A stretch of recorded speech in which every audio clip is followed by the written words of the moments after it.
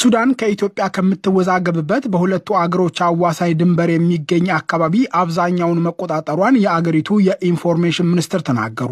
ሚኒስትሩ ፋይሳል ሳሊህ በሱዳን ጦር ኃይል እጅ ገብቷል ያሉት የኢትዮጵያ ገበሬዎች የሚያርሱትና በቅርብ ሳምንታት የግጭት መነሹ የነበረ ቦታ ነው። በሳምንቱ በኢትዮጵያ ምክትል ጠቅላይ ሚኒስትርና የውጭ ጉዳይ ሚኒስትር ደመቀ መኮንን የተመራ የከፍተኛ ባለስልጣናት ልዑክ ወደ ካርቱም አቅንቶ በጉዳዩ ላይ ሁለቱ አገሮች ውይይት አድርገው ነበር። ማንኛውንም ችግር በውይይት እንፈታለን ብለን እናምናለን ያሉት የሱዳን የኢንፎርሜሽን ሚኒስትር ፋይሳል ሳሊህ ነገር ግን ጦራችን መሬታችንን መልሶ ለመቆጣጠር የተጣለበትን ግዴታ ይወጣል። በአሁኑ ወቅት የሱዳንን ስልሳና ሰባ ከመቶ መሬት ተቆጣጥሯል ሲሉ ለሬውተርስ ተናግረዋል።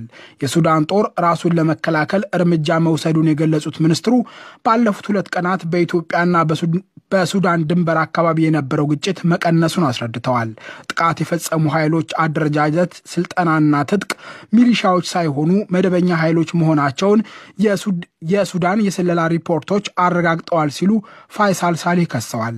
የኢትዮጵያ ምክትል ጠቅላይ ሚኒስትርና ውጭ ጉዳይ ሚኒስትር ደመቀ መኮንን ካለፈው ጥቅምት 30 ጀምሮ የሱዳን ጦር በአካባቢው ጥቃት ፈጽመዋል ሲሉ ከሰው ነበር።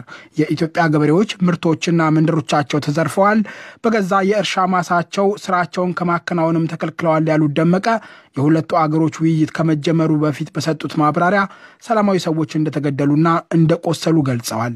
ሁለቱ አገሮች በግዛት ይገባኛል ለዘመናት የዘለቀው ውዝግባቸው በተለይ በትግራይ ጦርነት ተጀምሮ በሺዎች የሚቆጠሩ ሰዎች ወደ ሱዳን ከተሰደዱ በኋላ እንደገና ገርሽቷል። ጠቅላይ ሚኒስትር አብይ አህመድ ባለፈው ማክሰኞ ባወጡ መግለጫ ድብቅ ዓላማ ያላቸው ወገኖች በሁለቱ ህዝቦች መካከል ጠላትነትና ጥርጣሬ ለመዝራት ጥረዋል ሲሉ ከሰው ነበር።